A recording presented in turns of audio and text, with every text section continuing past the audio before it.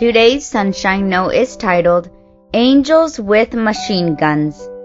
God is our refuge and strength and ever present help in trouble.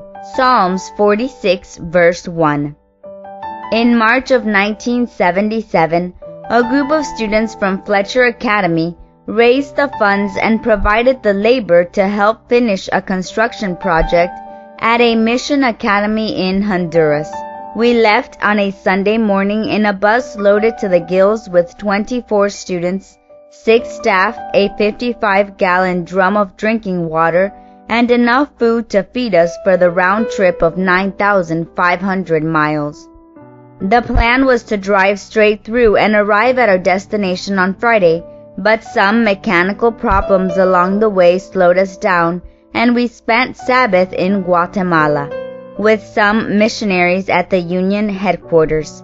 Saturday night we continued on our way.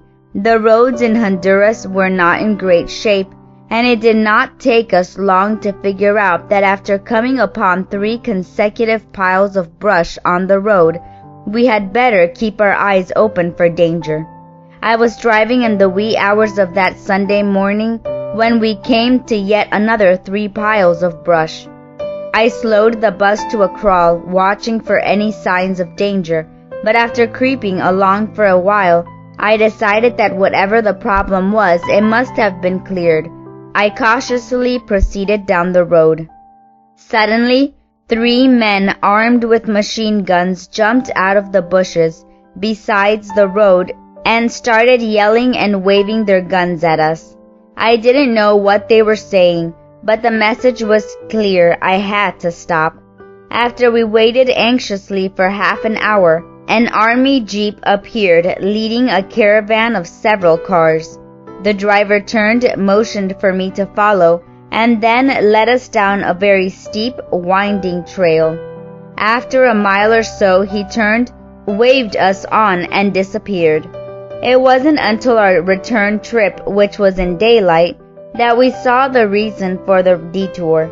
The mountainous section of that area had been left devastated by the earthquake of 1975. The road we had been traveling on that night crossed a valley on a very high bridge, a bridge that had the center section completely knocked out by the earthquake. There were no barricades, no signs. The road just abruptly ended in midair not too far from where we had been stopped.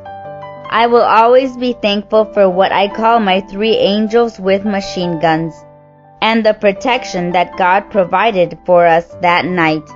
God is our refuge and strength, an ever present help in trouble. Psalms 46 verse 1. May God bless you today.